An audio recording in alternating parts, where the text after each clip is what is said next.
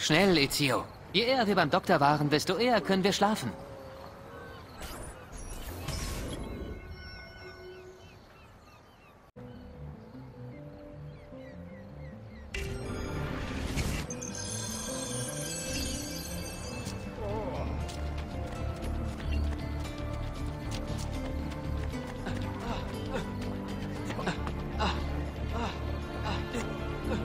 Das ist kein lustiger.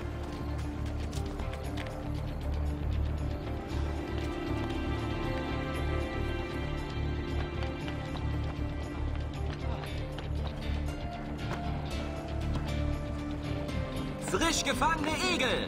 Wer braucht einen Aderlass?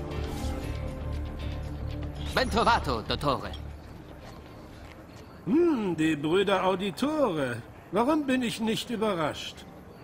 Ihr seid ganz schön zugerichtet, junger Mann. Es ist nichts, ehrlich. Ihr müsst ihm helfen. Das hübsche Gesicht ist alles, was er hat. Ah, Fottiti.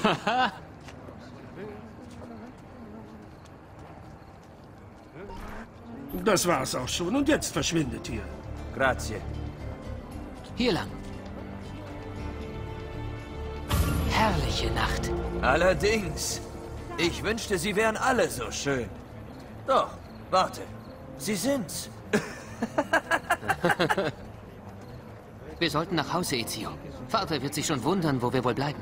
Ja, ich bekäme lieber keine Standpauke. Ein kleines Rennen, hä? Wohin? Zum Dach dieser Kirche.